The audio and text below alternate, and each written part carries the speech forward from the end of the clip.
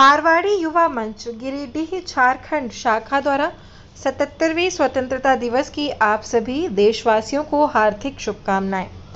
निवेदक अमित बाजुका अध्यक्ष चंदन केडिया, राहुल, सचिव राहुल केडिया। सभी देशवासियों को सतहत्तरवें स्वतंत्रता दिवस की हार्दिक बधाई एवं शुभकामनाएँ।